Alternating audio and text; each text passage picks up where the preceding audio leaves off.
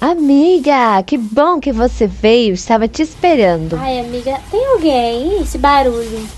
Ai, é a minha empregada, sabe? A minha empregada tá aqui hoje. Que bom, né? Que você veio no dia certo. Ela vai fazer as coisas pra gente. Eu vou falar com ela, tá?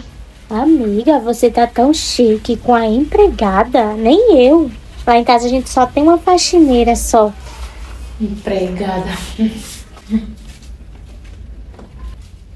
Luísa, você viu, né, que a minha amiga da faculdade tá aqui, né?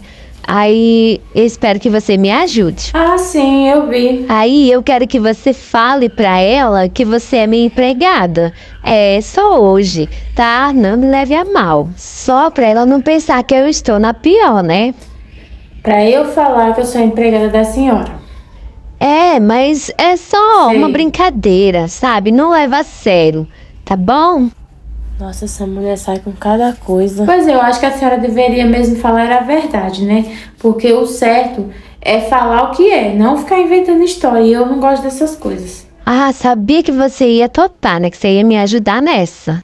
Mulher, eu não vou falar nada não. Você que fale, né? Porque eu apenas posso ficar quieta, mas assumir isso aí não. Meu papel aqui é trabalhar, não é inventar história. Tá bom, eu conto com você, tá? Nossa, amiga, eu não sabia que você tava tão bem de vida que você tem até uma serviçal. Nossa, Pronto, eu já amei. fiz a, a limonada de vocês. Pois é, amiga. É, a Luísa é minha empregada, né? Ela, eu pago muito bem pra ela. Ela vem todos os dias, mês inteiro. e ela Então, faz paga tudo. Muito bem. Alguma coisa, Luísa? Não, nada não. Pois é, amiga, eu amei. Olha, eu vou vir aqui mais vezes, tá? Já que você tem uma pessoa Pois pra é. te servir. Ó, eu agora vou ter que ir embora e vocês vão ficar aí. Vocês terminando, sabe que tem que deixar tudo arrumadinho, porque amanhã eu não volto. Como assim, Luísa? Você não volta em nosso acordo?